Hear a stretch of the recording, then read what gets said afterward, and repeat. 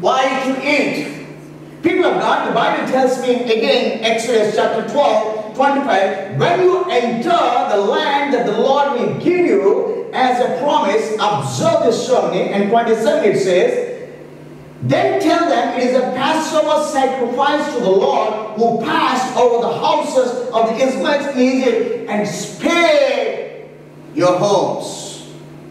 You know why you have to take this? So that you can spare from the judgment. Amen. Hallelujah. If you don't observe this, we cannot be spared from the judgment. That's what Jesus said. I don't have time to go into the New Testament scriptures to see the Gospels and 1 Corinthians Paul is talking about. People of God, as often as you can. This was done only once a year in the days of the Old Testament to the Israelites. But when it comes to the house of God, when it comes to the New Testament, you can do as possible, but not individually, but when you come as a church. You are exempted People of God, the angel of death is passing, and the angel of death is passing, the judgment is passing on. I mean, that means you are spared from the judgment of God. I mean, hallelujah. What is the judgment of God? If the sinner, he will be judged to the hellfire. That's one thing. And second one is, you will be spared from the destruction of your soul and your body. Amen. Hallelujah. When I'm saved, what does it mean saved? Saved means my soul and my body will be spared from the hellfire. Amen. Hallelujah. My soul and my body is spared. So that I won't go into the hell. So you'll be spared from that. And the second and the third one is you'll be spared from the plague. Amen. Hallelujah. From plague. Glory be to God. The destructive plague is coming over. Amen. Hallelujah. So the the passing over of the angel of death will spare not only your personal, I mean not only yourself, but it's sparing your family as well. Amen. Hallelujah.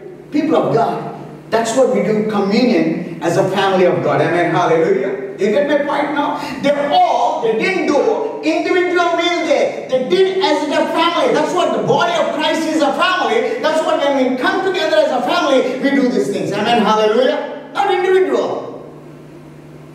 That's what it is. It's the plague. that means the disease. You can even take the plague means any disease. So if you really have the faith in the Lord, when you observe this uh, uh, communion, you'll be healed in the name of Jesus. Amen. I've seen so many cases through the communion, people are healed. Amen. Hallelujah. Because the blood and the Christ. And you will be spared from weeping like Egyptians. Amen. Hallelujah. When the angel of death passed, you know what again? There's a death in the families. Amen. Hallelujah. Every firstborn of Egypt was struck. Every firstborn of Egypt was struck. So there was a weeping and crying. Bible tells me there was never a day like that where there was weeping and crying. But I tell you, if the child of God, you'll be rejoicing. Amen. Hallelujah.